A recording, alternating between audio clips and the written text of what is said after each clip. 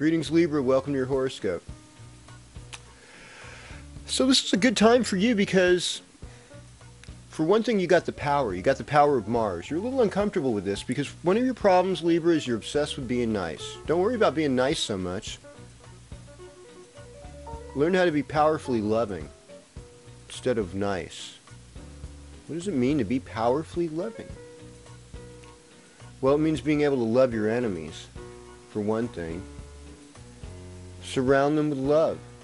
All these greedy, greedy people, all these CEOs, obviously, you know, they need to be surrounded with a big love hug and say, You obviously didn't get enough. Oh, come on. Come on, poor baby. Oh, oh, that trip in Cancun went so bad. Oh, I'm so sorry for you. Oh, and oh, I know you didn't get the specialist house in the Greek island because the old person wouldn't sell you. Oh, I'm so sorry. And you're trying to go through court to get it. Oh, poor baby.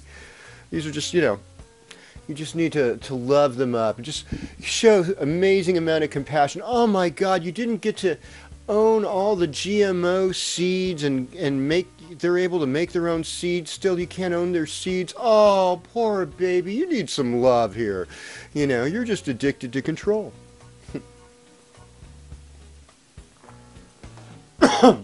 And so we can love the addiction to being loving is not a bad addiction in fact it'll be the one that'll save the planet we can love things back to life. Uh, Dr. Emoto said that. So go with that, Libra.